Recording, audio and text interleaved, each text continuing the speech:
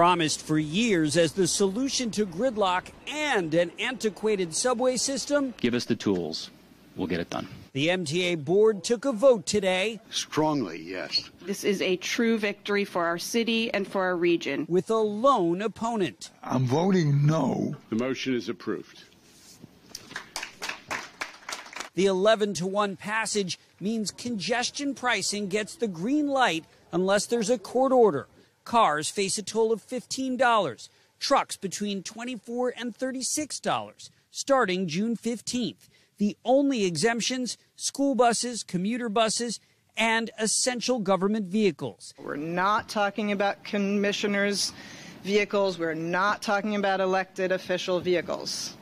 Those are specifically and categorically not exempt. Commuters in the nation's largest mass transit system have been promised the $15 billion raised by congestion pricing will modernize the system. We'll see. We'll see if it happens.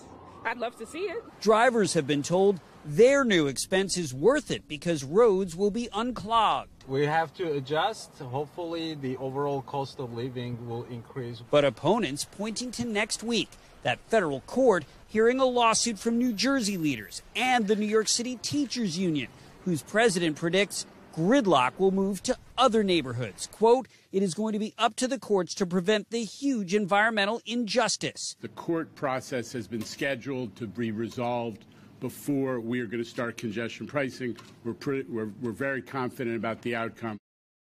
Thanks for watching. Stay updated about breaking news and top stories on the NBC News app or follow us on social media.